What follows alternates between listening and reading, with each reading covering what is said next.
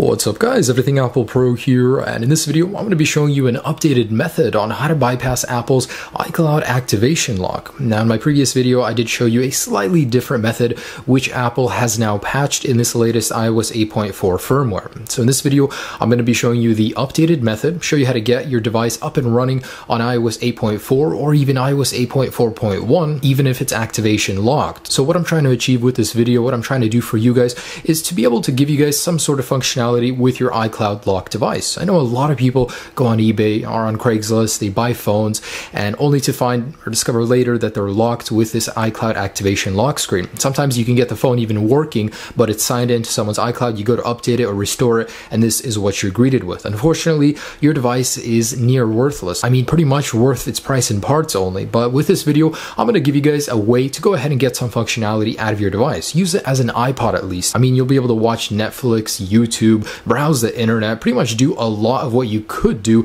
access the flash and camera, just uh, give you some sort of functionality out of your completely bricked device. And I know it's frustrating, but there is no way to completely remove iCloud. This is the best that it's ever gonna get. And I'm gonna go ahead and show you an updated version. So over here, I've got a device running 8.4.1, and I will be able to show you guys later on that they are indeed running 8.4 and 8.4.1. So uh, let's go ahead and show you guys how to get some functionality out of your iCloud lock device. And it's a very, very simple. So first off, very first thing I'm going to show you guys is uh, how to go ahead and run this if you guys are already set up with internet. So it's really simple. All you guys have to do is uh, go to Wi-Fi settings.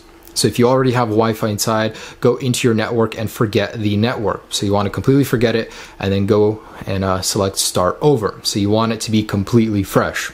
All right, so go ahead and select uh, your uh, English or whatever language you have go over here and you want to go ahead and input this server. It's important to do this before going into the passcode. Don't type in the passcode, go over here and select DNS. So go ahead and put in one of these DNSs depending on where you're at. I mean, these are updated once in a while. Sometimes they may not work. I'll have the newest one down below in the description. So uh, this is the one that works for me. So 78.109.17 0.60. And like I said, sometimes these are updated. I mean, if one doesn't work for you, try another one, but it really depends on where you're at. Anyways, so with that entered, go ahead and select back.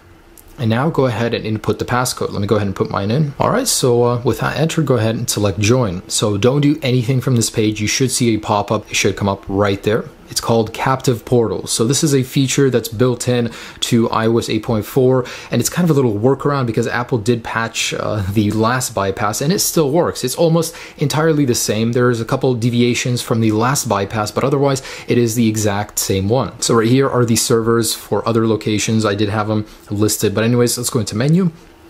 And in here, this is pretty much everything that you guys can do. So up here, you have a user's chat. So everyone that's iCloud locked, you can get in here and uh, chat about what's going on, maybe learn some new news, some new glitches, some new bypasses. I don't know. It's kind of interesting to see everyone's frustration here, but you can learn a bit of there. Anyways, so Let's go back into the menu. I just want to show you some other things that are possible with this. So in here, you can go ahead and enter the flashlight. So you can't actually open up the camera. It no longer works using this, but you can activate the flash with video. So you can get the flash working with this guy if it's in video. Uh, really cool. Anyways, so if we go back to the menu, I'll be able to show you some more things in here. There's a lot of uh, social media, so you can go ahead and access all of these from here which is pretty cool. I mean, it's nice that this brings back some functionality to your device. Uh, it's not the same, of course, having a fully unlocked device, but you know, when you've been burned, this feels good at least. I mean, having the access to do something. Here you can do maps, and uh, of course, you guys do need a SIM card for this to work. If you don't have a SIM card, you can't get to this page. So you must have a SIM card belonging to appropriate carrier that your device is from. Also, in here, this is pretty much the biggest thing. There's videos, so you can go ahead and stream Netflix, uh, YouTube, you know, pretty much do some things that you weren't able to previously.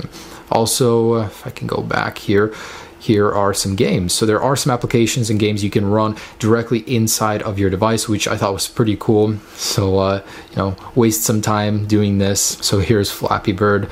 Uh, works really well. It's like the full application in the browser. Um, anyways, so that's really cool, guys. So let me tell you about one thing. If you guys dismiss it, you have to repeat these steps right here. So if you dismiss that, unfortunately, this new bypass is a little bit more work in order to get the same result, but you guys need to go into the network, forget the network, and then go ahead and start over. If you don't start over, it won't work. So just go back in here and I have to go back in here, type in the DNS once again. Uh, if this is in here, you have to delete it and retype. For some reason, it doesn't stick. So I'm gonna go ahead and put that in, put my password in, and that's how you have to do it every single time you get out of it in order to get back into the bypass. I know it's uh, a little complicated, but that's the only way it works right now. So also another thing to know is if you press the power button when you go back into your device, it will no longer be here. So you will have to repeat the steps again. So pretty much every single time you do this, that's what you have to do, but it is worth it like I said, it does bring functionality back to you. So in the end, it is worth it. I'm going to go ahead and show you that I am running iOS 8.4 and I'm going to go ahead and load it up on my 8.4.1 device and show you that it does work as well. But as you can see, I'm on 8.4 right there and it does work. Anyways, I'm going to go ahead and load it up over here and I'll show you 8.4.1 does work as well. All right, so here I have it up and running on my 8.4.1 device. I'm going to go ahead and show you it is indeed running that firmware. And I have heard this does work on the latest iOS 9 beta, but it may not work on the final build. But as you can see, 8.4.1 right there. And as you know, 8.4.1 is going to be the firmware that's going to block the latest jailbreak. So it's good to know it still works on it. Now, like I said, iOS 9, it's not guaranteed that it'll work on the final build, but hopefully it will. I'll make a video on that. And uh, man I gotta go through it again get it working.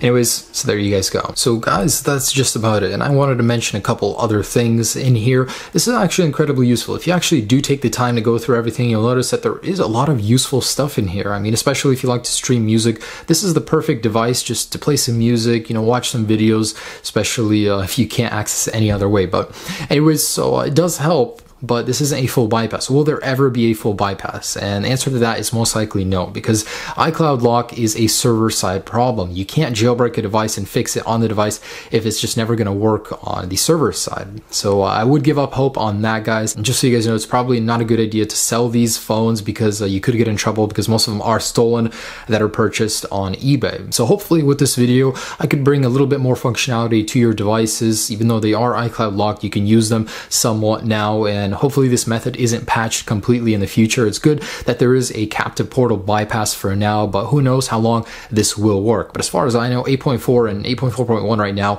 are golden. So I just wanted to let you guys know that this is available. There is a new method. Unfortunately, there will probably be no full bypass ever, so this is as good as it will get. And the interesting thing is activation iCloud lock doesn't deter theft as greatly as one would think. It does, but these phones can still be sold for parts. Mean, mean, for the screen, for the casings, they still have a market for them out there. And that's the most surprising part is you would think that these phones are near worthless, but they do still have a little bit of worth to them, which I thought was really interesting. Anyways, guys, enjoy this bypass. Uh, if there is ever a new method or a full bypass, which most likely there won't be, I will make sure to post a video informing you guys of everything. I haven't forgot about all my iCloud locked people. Anyways, have a great day, guys. Enjoy this activation lock bypass for what it is right now. Hope you enjoyed this video, guys. Peace.